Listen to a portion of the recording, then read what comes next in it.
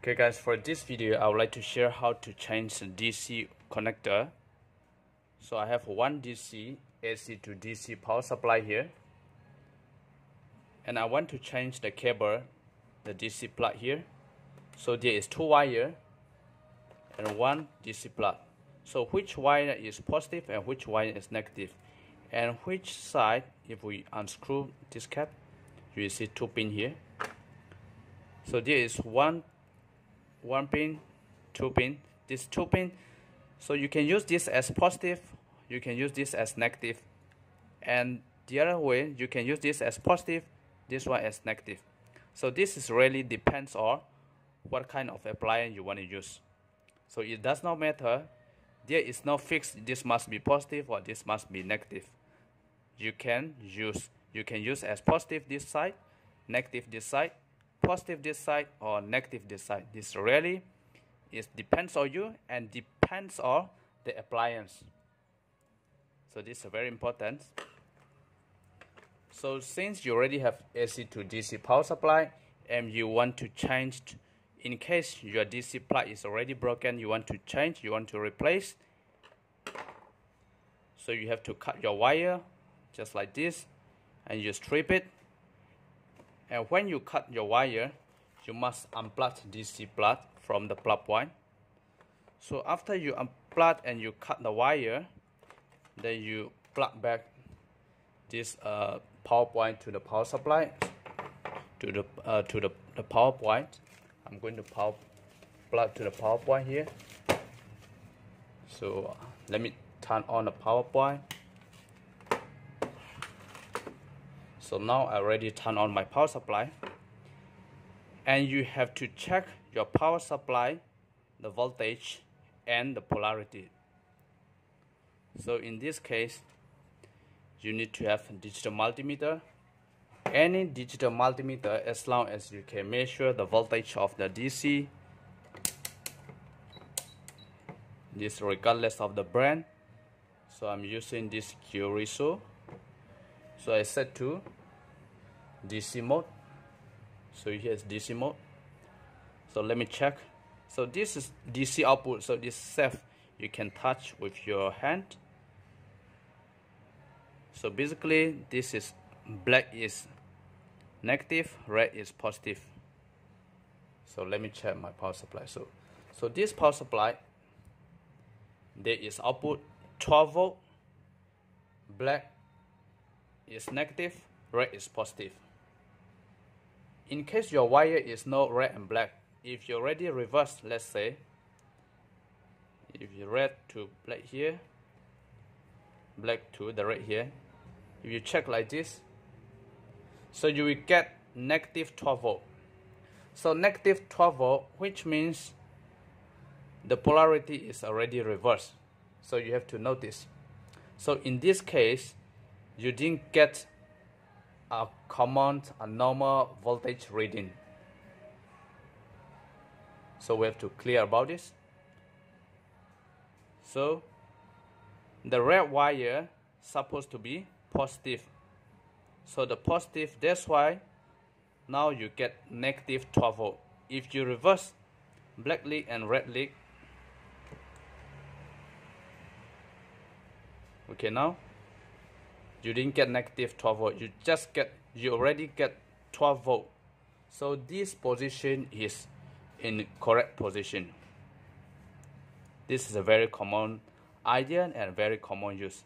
So this is once you already get 12 volt or 24 volt or how many voltage without showing the negative which means your polarity is correct. So now you can simply identify red wire is positive so red wire positive. So now I'm going to change this one. So here there is two pins here. If I use red wire to the short here then the inside is positive and outside is negative. So this is very common using let's turn off the power supply first. You must turn off your power supply when you are doing the wiring after you check. If not if you short positive and negative your power supply can be burned. So now I already turn off. And these things I'm going to put one shrink here. Shrink. And these things I put here first so I'm going to use this the short pin as positive. I'm going to use one short shrink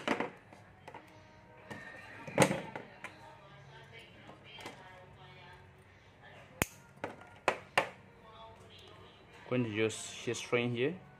If you solder will be much more safe I rarely recommend to solder on it but I'm not going to solder it. I just doing for demonstration purpose and anyway you can use.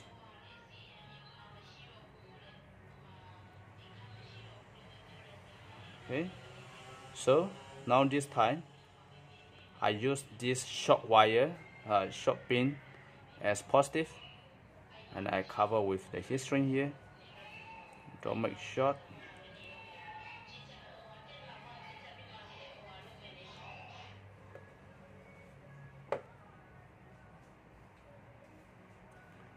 so now this is safe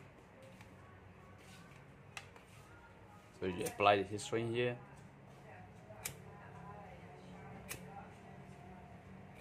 The other side the heat shrink so the other side of the heat shrink clip two I just show you how is how you can change the positive and negative for the DC plug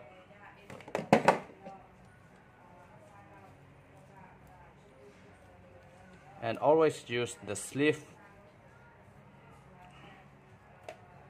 So now I already sleeve here.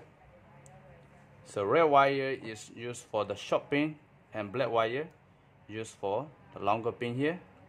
And you trim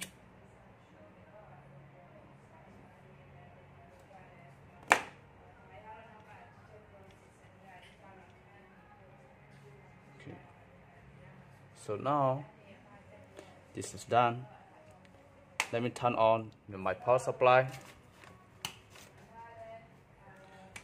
So let's check the power supply output. I already turned on the power supply here. So there is the inside here. The inside I put positive, outside negative. So how many voltage I get? I get 12 volt. So this power supply, I change the DC plug. The inside pin is positive, outside is negative. So this is very common. And after this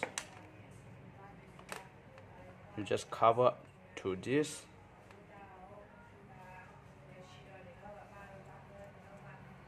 So now this is done.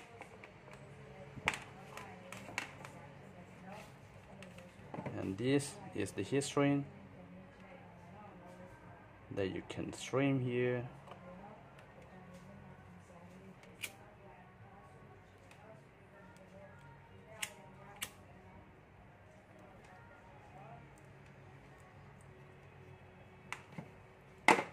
So this is done. So this is how we change the power supply uh, DC DC plug so this power supply positive inside negative outside. So make sure if you cut before you cut your wire you must turn off your power supply. Otherwise you will get short positive and negative. Then your power supply can be damaged. So i hope you like this video. I hope this video will help somehow. And thank you for watching